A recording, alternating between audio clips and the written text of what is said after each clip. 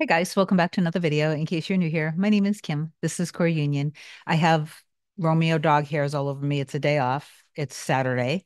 I just wanted to come on really quickly. If you are finding yourself doing techniques to manifest something, usually everybody wants to manifest their specific person.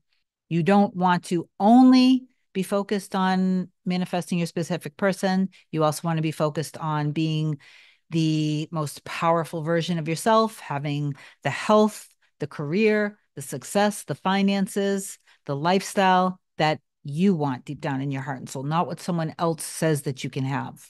Okay. But balance, I think, is a very big part of this because sometimes people go way too much in, in another direction instead of just going within and trusting what's in their heart and soul. When I say things like when it as it relates to you and your specific person, if something is deep down in your heart and soul, then you can trust in that. And then on other videos, I talk about how when everything is ego based, you know, I, I'm not focusing so much on that form of manifestation because it's usually more shallow. So then some of you guys are reacting to that, and maybe it's triggering you a little bit. Maybe because deep down in your heart and soul, you don't really believe in yourself as being the creator. And I think that's what would be at the heart of that kind of question. Like, I thought that we were limitless. Why are you talking about we can only manifest from our soul? I think where the problem lies here is that you're not actually in your power. And I and I think once you actually understand that your reality is truly reflecting all of you. It's like a giant body scan, but instead of just scanning your body, it's scanning all of you, your subconscious beliefs, programming, and your conscious thoughts and beliefs. So everything from this cumulative version of you that was shaped by your 3D reality. It's just like like the chameleon. You know how the chameleon can be walking a lot of uh, along a branch and they can be on the brown part of the bark and they turn brown, but then if they hop on top of a green leaf, they'll turn green.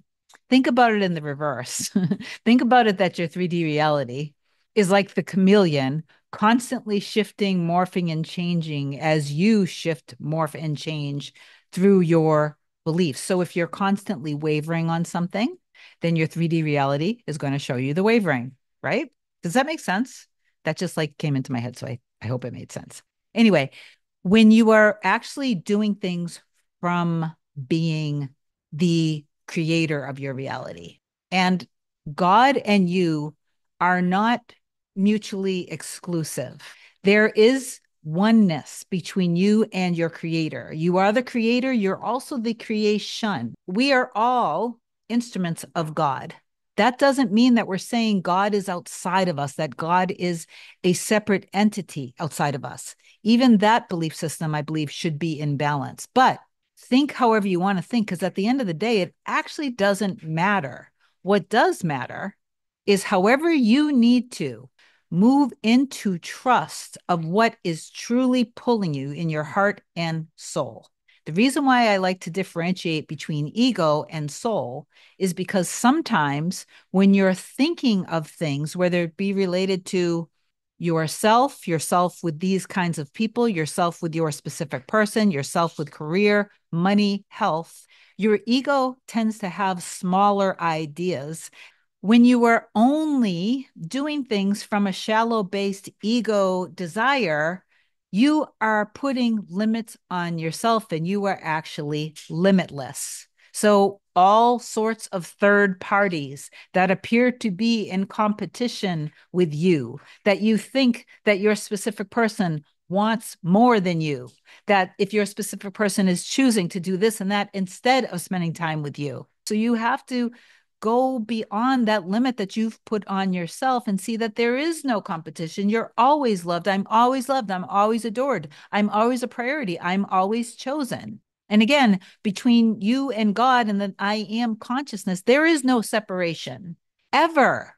The only time you create separation is when you create the division and you create thinking of God as being outside of you. But again, you and God, it's not a mutually exclusive thing. So, from my perspective, I am that, I am consciousness, but Kim is a physical personality that the I am consciousness is creating amazing things through.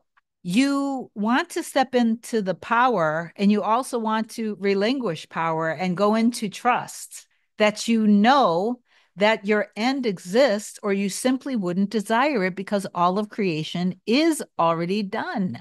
But infinite possibilities do exist at any given moment. So remember, your 3D reality is like a chameleon and it's morphing and changing according to you. So if some of you guys are like, why does this happen so fast? And then this happened so fast. And then my person came back and then boom, they left again. When they came back, it's possible that you went into your fear again and you were worried or thinking that when is it going to happen again? And so then, just like it just, your 3D reality has no choice but to show you and reflect that back to you. And in this case, through your divine messenger, which, which is your true love, your other half, your mirror soul.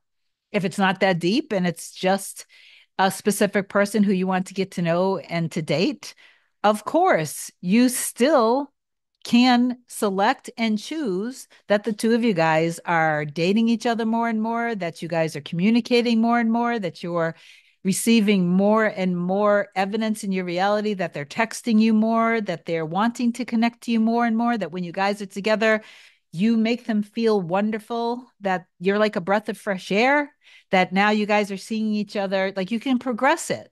Now you guys are seeing each other. It's going from one one time to two times to three times a week. You can do that. Okay. I have learned that when I go deep into that trust and into surrender and allowing, I know that everything that needs to happen is literally happening right now for everything that I'm wanting to manifest. If something isn't a deep desire for me, then it ends up eventually fading away. And that's okay too. You know how many times I think I have like a million one little ideas that always come into my head of different inventions, different businesses, different this, different that. All of these things, when it's really deep within me, is the I am consciousness consciousness wanting to create through this instrument, this vehicle that's Kim. So I don't question or doubt myself or my abilities. Somebody recently asked, I think it was last night or this morning, about the difference, something around limerence. How can can you address limerence that comes up lately in the 3D psychology realm with manifesting an SP? So the first thing my coach, the coach within me, the flag went up and said, Why would you be listening to 3D psychology stuff? What would even inspire you to be listening to that and watching YouTube videos on that subject? So there's something within you that's not in trust, right? And so then you had inspired action to seek and to seek evidence of am I doing the right thing? What is happening? What am I feeling? So you went outside of yourself. So the first thing that I see with that question is that you actually don't know your power. You you aren't aware that you are the I am that's in everything, that everything is you. So that would be the first step that you do. You guys are seeing that the first step you need to do is get your specific person back, but that's actually not the first step. Because when people are trying to do that and not realizing who they truly are in their reality, not having faith and trust in God and the God within them, and not trusting in their heart and soul that their end exists. This is why a lot of you guys are are experiencing the things that you're experiencing, the wavering. As it is, when you're focusing on self concept and knowing your power, life is still going to have its challenges. I think sometimes there are misunderstandings that life is going to somehow become absolutely perfect. And I'm not going to put a limiting belief on you that life can't become perfect. But what you really want to realize is that you use your 3D life to become who you want to be you use your 3D reality instead of your 3D reality using you. So life will have ebbs and flows and will have challenges, and they kind of just end up bouncing off of you and they'll just kind of roll off once you've become, you know, you've really stepped in your power. Okay.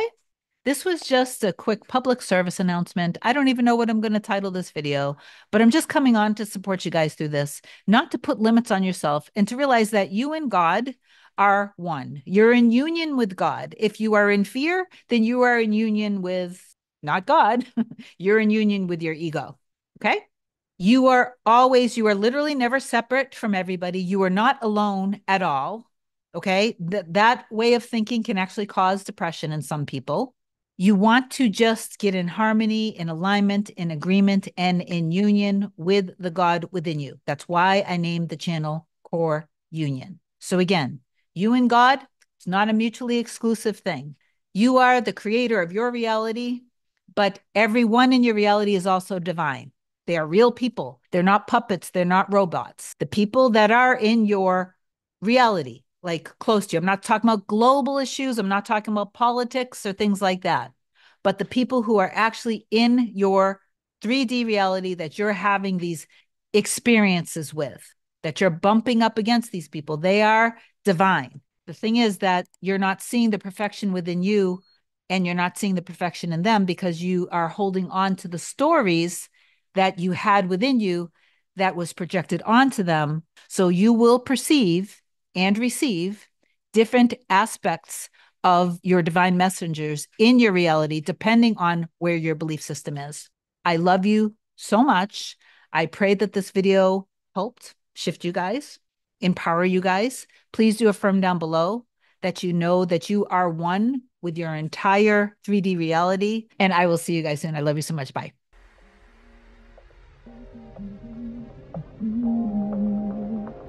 Nothing can come, nothing can come, nothing can come between us.